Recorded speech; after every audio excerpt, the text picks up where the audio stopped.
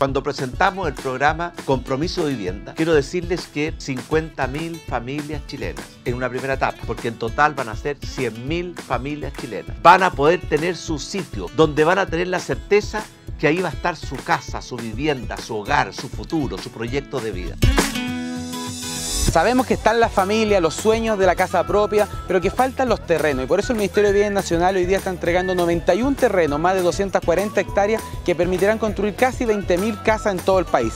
Son terrenos como este, como el terreno Nido de Águila en Lobarnechea, uno de los más valiosos y emblemáticos del Ministerio de Vivienda Nacionales y que estamos entregando gratuitamente al Ministerio de Vivienda para que miles de familias cumplan ese sueño. Primero que todo agradecer al gran Ministerio de Bienes Nacionales, a su gran ministro, su gran subsecretario, porque este compromiso vivienda no habría sido posible sin ellos. Esto de beneficiar a 50.000 familias, entregándoles certeza jurídica, promoviendo la integración social y sobre todo reduciendo los tiempos a la mitad, como nos ha pedido el Presidente de la República, es un objetivo compartido entre vivienda y bienes nacionales.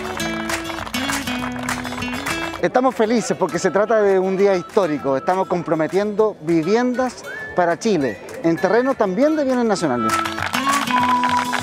Yo quiero agradecer en forma muy especial al ministro Julio Samir por el gran trabajo que hizo. La verdad que se veía muy difícil.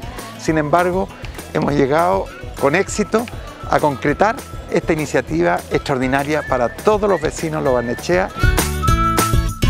Hoy solamente estoy para dar gracias. Gracias, gracias, gracias por este gran logro que hemos tenido como vecinas luchadoras, porque tenemos el logro de la casa propia por fin avanzándose.